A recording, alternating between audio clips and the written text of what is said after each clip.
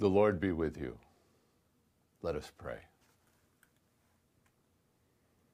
O Lord, by your bountiful goodness, release us from the bonds of our sins, which by reason of our weakness we have brought upon ourselves, that we may stand firm until the day of our Lord Jesus Christ, who lives and reigns with you in the Holy Spirit, one God, now and forever. Amen. Bless we the Lord. Thanks be to God. Welcome now to this second to last Sunday of the church year, uh, proper 28, in which we will be looking at the Hebrews text again. It's the last one in the lectionary uh, for Series B, at least. We only have one Sunday left, of course. Um, and we have had a number of texts that have have uh, been part of the the, the um, epistle to the Hebrews, and that what I call a homily to the congregation that is in this malaise, that is is suffering, and that is looking maybe for a more severe persecution in the future, but is so far just holding off because uh, it has not yet come to the point of shedding blood. Uh, as, as, you know, during this part of the church year, we are focusing on judgment. Uh, the gospel lesson for today is this day is Mark 13, 1 to 13, which is um, the, the eschatological discourse in Mark by Jesus concerning the, the end of the, the world, the end of, of the, the last days. And the last verse of our text is He who endures to the end will be saved. And in a way, what Hebrews does is help us understand what does it mean to endure till the end until we are saved. Now, now this is a very interesting breakdown in a pericope, and I honestly don't remember the reason why we chose this. Maybe we inherited it from um, the original three-year lectionary, um, although we have made some revisions. This, this text is, is part of two different um, parts of, of, of Hebrews 10. Um, in, in the Kleinig commentary on Hebrews, um, the first section, 11 to 18, is entitled by him, and it, this is actually 1 to 18, so this is the end of that text perfect access to God. And then 19 to 25 stands on its own, and he calls it the open way. Now, they're obviously related, but there, there, is a, there is a break there after, after 18. And, and in the Vanhoye sort of construction of this, he starts with verse 19 as the final exhortation. Um, when I studied Hebrews back at the seminary with Dr. Harold Buls, some of you who are listening to this might remember him very well. Um, he considered 11 to 18 the climax of Hebrews. Um, I actually don't know what Kleinig considers. I know Vanhoye considers it 9 11 and following as being the climax. It's kind of at a, a chiastic moment, and it's right at the tip here of the chiasm. But Lenski also considers this the, the climax of Hebrew. So it's obviously a very important part. And you, you'll see the movement is from the, the, the high priests of the Old Testament to the, the high priest now who is Jesus himself. So let's, let's turn our attention here to the text and just look it over a little bit. Um, you, you, can see here that we have a, a, a, very rich text filled with all kinds of, of loaded theological language. I mean, for one, this is in per- perpetuity, this language here, you know, without interruption is, I think, how Kleinig refers to it. It's obviously a, a, very important little, you know, kind of refrain we see over and over again. Um, we also have the, the, the, the, language here that comes from this beautiful text in, um, in Jeremiah. And it, it's, it's quite a remarkable text that is cited over and over and over again. And the, the new covenant you know, that I will cut with them. This is obviously a covenant that has strong Eucharistic overtones. And if this is the climax of Hebrews, then it is a Eucharistic climax. Um, here's the language of forgiveness, where there is forgiveness of things. There is no longer the need for a sacrifice on behalf of sin, an offering, I should say, on behalf of sin. So, I mean, you, you have a, a section here, if this is the climax, is a very, very theologically dense and rich section. And then in, in the second part here, um, you have, have the language of Jesus by his blood entering into the holy place, you know, and, and this to me is one of the most important parts of this through his flesh. You know, that's the passing through the curtains that is through his flesh.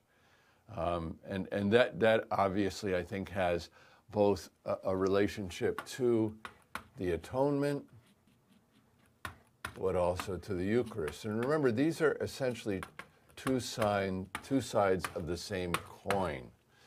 And the way in which we participate in the atonement today is through the Eucharist. And even though there are some, like Craig Koester, who don't think Hebrews talks about the Eucharist, I know both Kleinig and I see it as being a, a deeply Eucharistic text.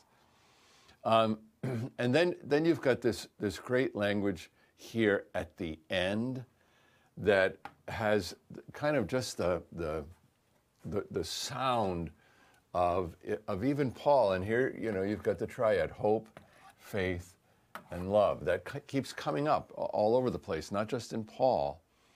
And um, the language here is just so beautiful. And it's it really, uh, uh you know, I mean, a wonderful way to bring the church year to a close. So let's let's go back and look at some of the specifics here, and and just kind of get a sense of the language and how we might preach on it. Um, he starts in verse 11 here, and if this is, as I said, the beginning of a of a climax, it it, it really does have a ring of, of, of a climactic character to it. Now, on the one hand, he says, every priest stands, and I put this in purple because this is a reference to the Old Testament, stands every day as uh, one who is liturgizing. That's, that's, that's the, the uh, I think that's the, um, the uh, yeah, that's the Kleinig interpretation. Liturgizing and frequently offering, you know, sacrifices, which is not able, which is never able to completely remove sins. Now, here you have the beginning of that contrast. Here's the Old Testament and the Old Testament priesthood. Now, we've been setting up for this all through Hebrews, and that's why, in a way, this is uh, climactic. But on the other hand, this, and in parentheses, we want to say this priest, this high priest, Christ, reference to Christ here, having offered a single, look at how he does this, a single sacrifice on behalf of sins. There's the offering on behalf of sins. Huper, substitutionary language. And as I said, uh, the Kleinig translation, you know, without interruption. I always translated it in perpetuity, but without interruption. What does he do after he has done this? He sits on the right hand of God. Now, here you have the humiliation, the crucifixion, and the resurrection, exaltation. Now, I mean, you, you have a dogmatics textbook right here, and it's, it's really quite brilliant. I mean, it's, it's just beautiful to see how he, he develops this. And then in 13, you have, a, again, another hint at kind of the now, not yet, this inaugurated eschatology, where in verse 13 he says this waiting from then on until his enemies, until his enemies um, have been placed as a footstool under his feet. So while we are waiting, okay, for that final parousia, okay, we are experiencing all the benefits of the crucifixion and resurrection at the Eucharist, you know, in the divine service. And then in verse 14, he says, and he, he now kind of, uh, let's erase some of this. He now does a, a frame here where he shows us the one here and the one. For, he says, and, th- and this is in verse 14, for by a single offering, he, without interruption, this beautiful frame here, without interruption, has made perfect, the verb, those who are hagiazomenous, those who are being made holy. And again, I mean, you, you cannot help but see this as the atonement and the Holy Eucharist. And that really, the, the, the notion of sacrificial language in the Eucharist, because of its relation to the atonement, just cannot be denied. It's, it, in many ways, it's just dripping with it here in this text. Now, this is what gives him the, the reason to now come to this passage from Jeremiah 31 that is so important to the Hebrews argument. And in many ways, what I think we, uh, maybe I should just go back a little bit. Whoops. Hold on. What, whoops. Yeah, I think if I do that, that's good. Okay, what, what I think we want to see here is that this is a midrash, an interpretation of verse 14 here. You know, where it says, For by one sacrifice being offered, he has brought to completion without interruption, without interruption for perpetuity those who are being sanctified. And, and here in verse 15, he, he shows that it, it's, it's the Holy Spirit bearing witness to us. And what does he bear witness to us? Um, for after saying, this covenant that I will make for them after these days, now, after these days is a reference to the eschatological days when the Messiah is coming, says the Lord.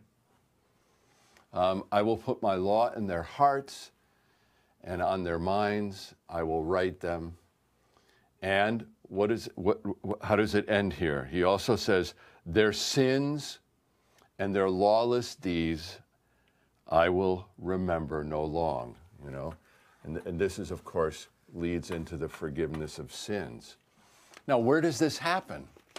Where does this happen? And I think you can see here that, you know, if this one sacrifice obviously refers to the cross, this is where, and we've always used Jeremiah 31 as a reference to the, the new covenant in my blood, which is poured out for you for the forgiveness of sins. This is a clear reference to the Lord's Supper. And the final, final word here there is then where there is remission from these, there is no longer an offering for sin. Because that offering for sin, that once and for all sacrifice, which Hebrews, you know, hits again and again and again, that, that you know, once and for all, he has died on the cross. But that, the, the, the, the, the body and blood of that sacrifice is now offered to us here at the Lord's Supper. And how crucial that is for understanding how it is that we are to understand the, the Eucharist. Now, this brings us to the second part of this text, the open way. And I think you can see how one is going to lead into the other. Um, he, he sort of changes gears here, and you can see there is a, a, a bit of a, a, a, break here in the action. Um, and, and this whole section here, I think, really does have to do with liturgia and diaconia. And you're going to see, I think because of the page break here, it's not going to come out, but there is a break at 23. So, really, in a way, 19 to 22 has to do with the liturgia, 19 to 22. Can we get all that on there? Just about. 1922 has to do with the liturgia, not quite. And then 23 to 25 has to do with diaconia. And you've heard this perhaps from me before, but for my money, liturgia and diaconia, what we receive at the divine service, and then the liturgy of life that we bear in bearing Christ to the world, you know, that really is sanctification. These two things together, Christ in the divine service and Christ embodied in life, daily life, this is the gospel. It's both. You have to have both the reception of the gifts and the embodiment of the gifts in the liturgy, uh, the liturgy of life. So let's just look at the text here a little bit. This first part is just sublime, as, as you know. Therefore, brothers, and I love this. He, this is a, a kind of a curiosity. Parrhesia means confidence, you know, but Kleinig continually translates it as freedom of speech, having freedom of speech, which I guess is a confidence, to enter the holy places by the blood of Jesus, okay, which he inaugurated for us, the way, okay, a new and living way, new and living, through the curtain that is the way of his flesh, okay. Now, again, we, how can you not see both the atonement and the Lord's Supper here. You know, we have confidence now to enter into holy things through the blood of Jesus, this new and living way, you know, which has gone before us, that is his flesh. Now, he's obviously talking about what happens on the Holy of Holies of the cross, but also in our own Holy of Holies. So we're, we're still, we still have a, a sentence going here so let's move this down. Sadly, this thing doesn't all fit together, but that's okay. So through his flesh. And, and then look, look what he does here uh, in verse 21. Um, he says, and having a great priest over the house of God. Now here's your verb. And this is brings to the end the part about the liturgy. Let us come near with a true heart, in the fullness of faith. And here, here you can hear baptismal language. Um, having had our hearts sprinkled from a, an evil conscience, and having had our body washed with pure water. Now, what are we drawing near to? We're drawing near to the Holy of Holies for us which is the altar where one has the body and blood of Christ. Okay, as I said, these first verses, what is it, 19 to 22 is liturgia. Okay, how it is that we receive the gifts and enter in through his flesh, you know, with our great high priest you know, to, to, to have this, this, this apprehension by faith, having been cleansed by holy baptism. Okay, second part of the text. Can we get it all? Oh, yeah, piece of cake. This, this would be now 23, 24, and 25.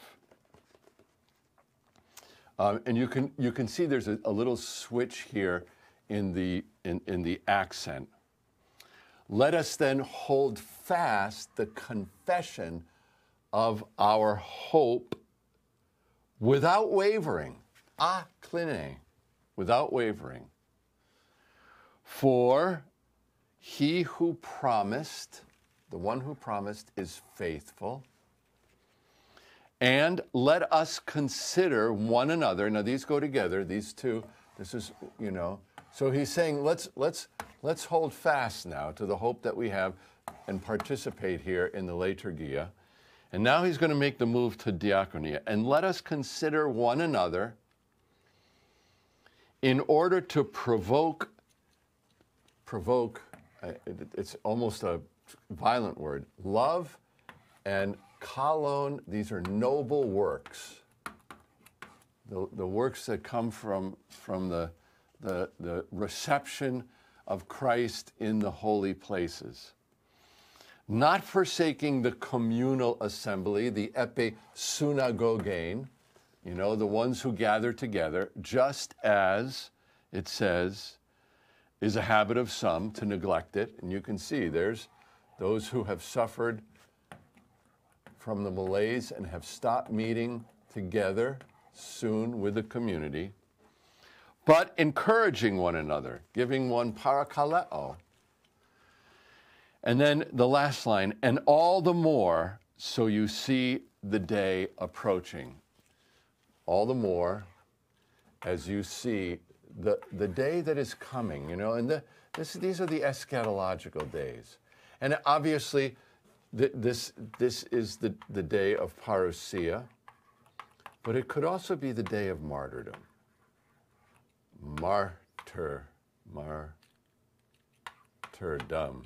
Well, I'm not spelling well on the board here, but martyrdom, where they were going to maybe be, be persecuted even to the point of death. Now, what, what I'm suggesting here is with these two hortatory subjunctives, and especially the, the exhortation to love and good works, you know, the meeting together in the assembly, pushing you back into the, the divine service so that you can, you can, you know, be prepared to embody love and good works in the world. And, and the day is drawing near where the, the, the accounting will be there, the, the judgment will be there. Now, what a way to end on this second to last Sunday of the church year with the, the fact that the day is drawing near. And, you know, as the days are getting darker around us, as we see, you know, nature dying, as the sun is getting uh, smaller and smaller day by day in terms of its appearance, as, as we can feel the cold and the damp here in Indiana kind of creeping in on us, um, we have a sense of that judgment that is coming. And we're about to, to celebrate the end of the church year and the beginning of our expectations of celebrating the incarnation with Christmas. We realize how important it is to, to understand the need to encourage one another and to gather together in the divine service so that we might be strengthened to face the malaise of a world in darkness. And at this time of year, it's so clear that, you know, as Jesus looks out over the city of Jerusalem and the temple and he talks about its end, we know the end is coming too for us. And we must be prepared. And that really is one of the calls of the church during the November and December seasons as we get look forward to the, the breaking in of the light at the winter solstice when Christ comes again.